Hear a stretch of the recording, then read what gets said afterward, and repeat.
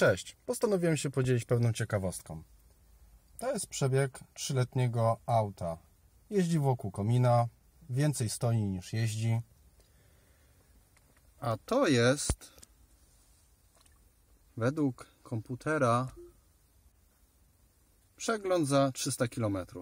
No i teraz ciekawostka, bo poprzedni przegląd był robiony przy 11 600 km. Zresztą widzicie, ten samochód więcej stoi niż jeździ. Tu był rekord, bo pożyczyłem samochód, jak się w rodzinie komuś tam zepsuł, więc naczaskał 3000, ale widzicie, potem 4 i jak w pysk szczelił, muszę otworzyć drzwi, jak w pysk szczelił 4000 km rocznie żona robi. Bo to jest samochód żony. Wręcz muszę doładowywać akumulator, bo to się zużywa w tym samochodzie. Cała reszta, można powiedzieć, że pleśnieje.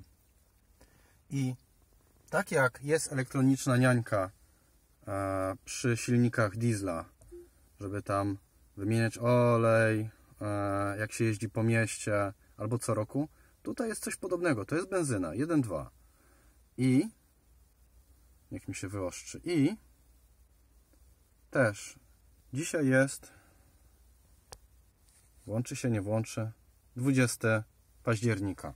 Poprzedni przegląd był zrobiony 25. Jak na mój gust, ona bierze ta cytryna i przelicza sobie czas, ewentualnie ilość odpaleń, aczkolwiek ostatnie za dwa tygodnie w zasadzie stoi ten samochód i, i czeka aż go, aż go żona przepali. Taka ciekawostka.